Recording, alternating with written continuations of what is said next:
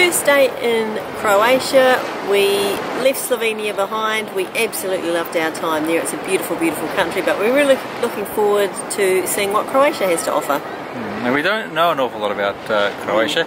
It didn't exist when I was here 27 years, years ago. so if anyone's got any tips, you guys out there know a lot more than we do. Um, our plan roughly is to head south as far as Zadar. We'd like to go further, but time means that we can't go everywhere. And then from there we're going to head inland and to eventually Hungary. Yep, eventually Hungary, Czech, and, Czech yeah. Republic and Poland. So any tips on that kind of route, we'd be very, very keen. First day in Croatia, first campsite in Croatia. Now this campsite is enormous. There's capacity here for 3,000 people. It's a town. Luckily for us at this time of the year, it's pretty quiet. Probably only 15-20% of that capacity is uh, in residence at the moment.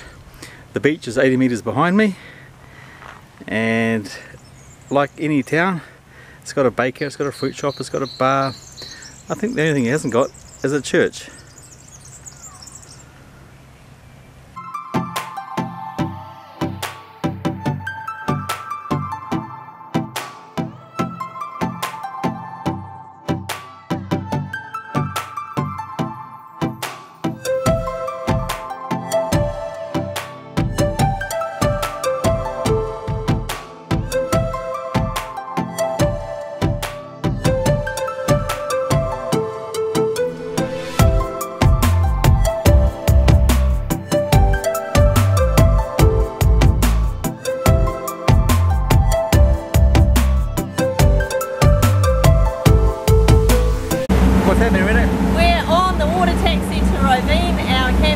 Is about three kilometres from the centre of the city.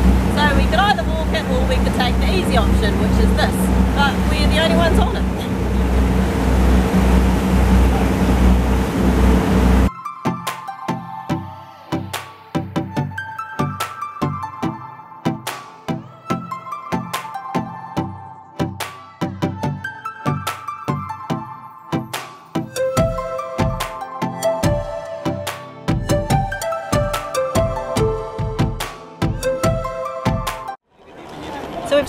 few things here in Rovinj. We've been up to uh, St Euphemia's Church on the top of the hill, so that gave us some good views. Interesting thing about the streets here, they're cobbled and the cobbles are so worn that it's a bit like walking on glass. This place is probably about 2,000 years old. The bit we're on now, the old part, was actually an island and it's been governed by the Venetians, by the Romans, it's been part of the Byzantine Empire, so it's had a pretty colourful history. Two official languages here, Italian and Croatian, and it was and still seems to be um, quite a bustling little fishing port.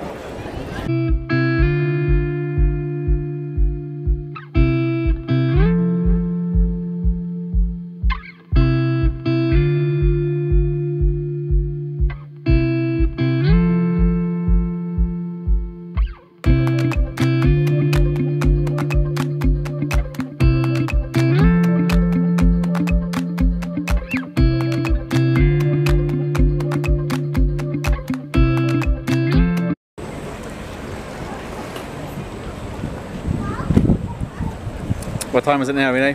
I think it's going to be pizza time.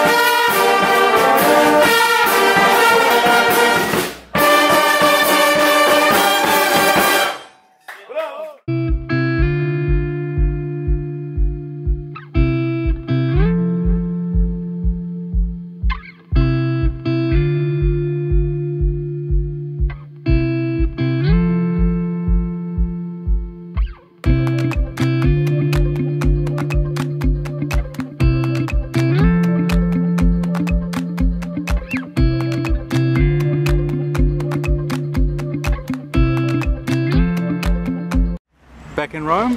Not quite. We're in Pula, which is about half an hour from Rovinj. Because we couldn't get into the Colosseum in Rome, we thought we'd check out the one here. There's hardly any people here. It's actually not quite open because we're a bit too early. Um, we're not going to be hanging around the Pula for long though because parking, it turns out, is a bit of an issue. But we did find a bakery, so at least we got lunch sorted.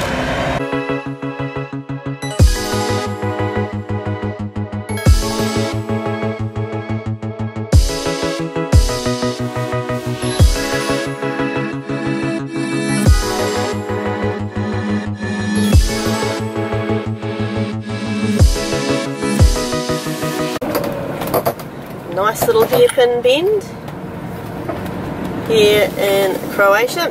Now we have been taking quite a few toll roads lately, but mainly because we've had to pick up our pace a bit because we've been basically been dawdling really, haven't we? Too many cream cakes. Yeah, but we've sort of realised if we don't if we don't go a bit faster, we're not going to see everything we want to see. But we have decided for this leg of our journey through Croatia that we won't take the toll roads because we want to see something a little bit more scenic. And the roads here are actually really good.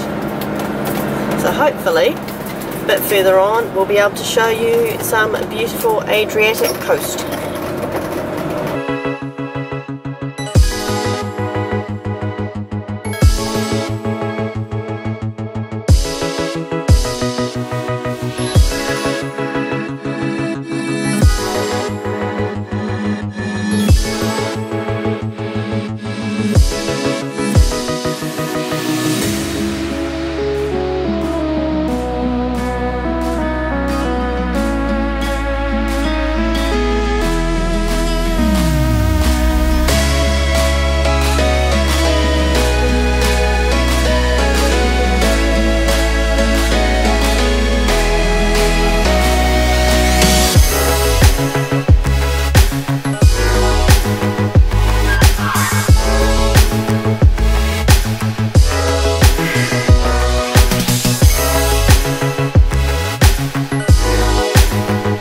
You probably can't see it, but uh, the van is there, tucked away behind that tree. Lunch on the Adriatic.